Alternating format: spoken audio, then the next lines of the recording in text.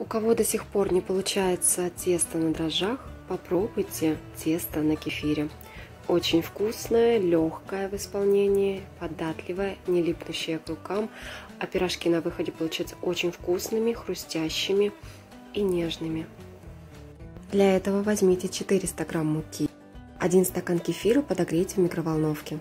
В муке сделайте углубление, влейте кефир, 1 чайную ложку соды, соли, сахара и 2 столовые ложки подсолнечного масла.